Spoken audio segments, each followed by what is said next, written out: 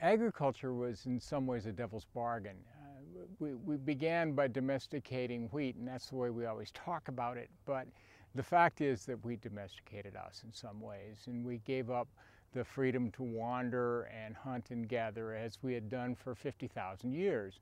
Um, that may be better or worse than what, um, agriculture in some ways, and we can argue that as a value judgment. But the fact is, evolution made us to be that way, and we surrendered um, the the conditions that that we evolved under. People still argue a lot about how agriculture happened. The, the classic story is that we ran out of game, essentially. We became overpopulated, there were too many people, and so it was the only way to feed ourselves. So one day one guy woke up and said, I think I'll invent agriculture. That's not the way it happened, probably, but that's one story. Another is that we just did disturbances by um, living together, the disturbance in the soil of people compacting the soil, walking around villages, that sort of thing, allowed weeds to grow, and we started eating those weeds, which are grass essentially. Uh, but it happened, and it happened in five different places in the planet, at least uh, independently. So in some ways, it was inevitable because it happened independently in so many ways.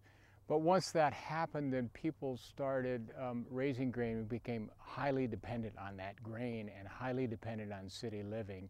And pretty soon we were domesticated just like our livestock in some ways. Domestication occurred in five different places on the planet, and each of those had a different crop. That was the basis of it. In the Middle East, it was wheat. Um, and we domesticated wheat from wild grass that grew there, a predecessor, in uh, just in an area that's now Iraq, oddly enough. Um, in Asia, there were two separate domestications of rice and rice became the foundation and really the analog for wheat. It served exactly as wheat did in, in the Middle East, but same deal. There was a separate domestication of rice in Africa that we know about. In the New World, in, in uh, North America and South America, corn and squash and beans were domesticated in North America. In South America, it was tubers, potatoes, essentially. So those are the mainline crops and still the mainline crops today. Those four or five crops account for something like 73% of human nutrition today. The effect of um, agriculture on people was very much like domestication in other animals. Um, we started moving a lot less uh, because we were sedentary. We lived in cities. Um, we were able to store grain, and because we could store grain, that was wealth. Because there was wealth, there was poverty. Uh, there was hierarchy, there were leaders, there were people who were in control, which we had never experienced before. There were institutions like churches and government, which never existed before. And those things served to organize society and regiment society in ways that we could continue to produce our food. The main thrust of agriculture and the environment um, was there from the very beginning. We tend to think of agriculture today as industrial agri agriculture, and somehow that's different than what we've been doing for six or eight or 10,000 years. But in fact, the principle is exactly the same. We're not doing all that much that's different. The plants we do eat are biological freaks. They're annual grasses, which are very rare in nature. Um, nature prefers perennials. And because they're annuals, they're, they're there for a special purpose.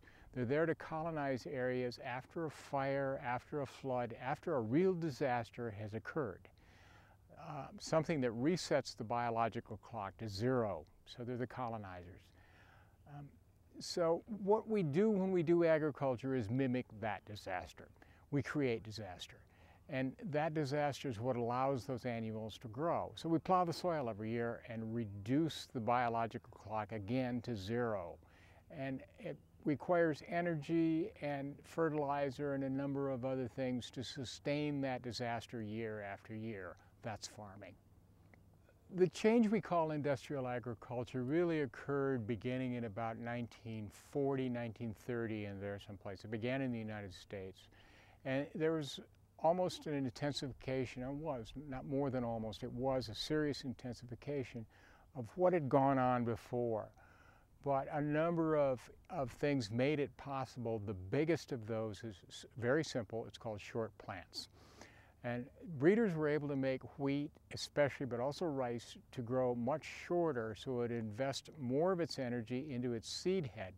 At the same time, it would sustain heavy doses of chemical fertilizers. Those two things together caused what really we're calling what we call the green revolution around the rest of the world. And that's what it was. It was a green revolution. It very much wasn't a revolution in agriculture. But we can read that revolution by what it required, which was a, a, very rapid intensification of use of chemical fertilizers and of pesticides. Both of those things, and also irrigation water. Those three things came together to really uh, very much intensify the impact of, of agriculture on the environment. One of the results of the Green Revolution also was economy of scale, and so it became much more efficient to grow on large scale. Small farms went away. And so where typically a farm in the Midwest would be a couple hundred acres, here in Montana, 500, 600, uh, that's more than doubled now. So a typical wheat farm here in Montana is about 3,000 acres. Um, 3,000 acres generally employs one person one person is able to take that 3,000 acres and raise a crop of wheat from it. So the other, the other thing that happened with the Green Revolution was fewer people live on the farms, live on land. Um, it depopulated the landscape and created a series of very large farms. Those are the independent farms. The large corporate farms go to tens and tens of thousands of acres, hundreds of thousands of acres. Profitability of farming is a really interesting question. and it, it's, it, people who long for free markets in the United States would be good to start with farming, and that's the only place where we really don't have anything that looks like a free market. So most of farming's income in the United States is based on the subsidy system, and it has been since World War II. Um, it was designed with the best of intentions by a very progressive government that wanted to make farming less, uh, less financially hard on the people who did it.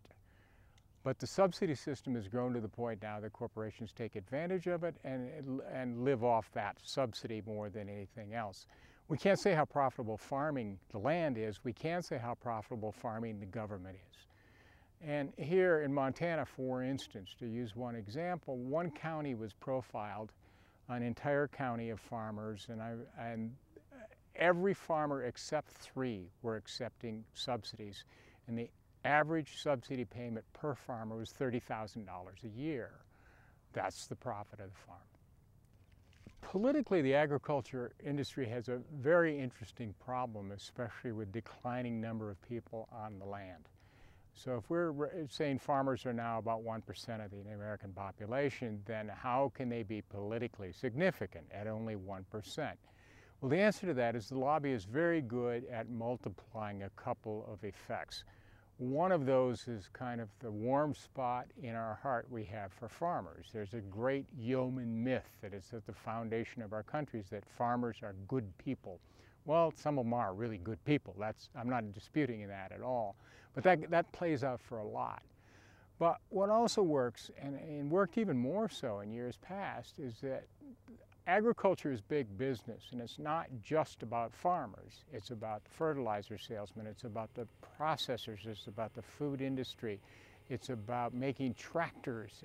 All those things come together in a much, much larger business. And it's in alliance with those other businesses that farmers multiply their power and become very powerful. Now, if you notice, all of that has to do with the industrial side of agriculture.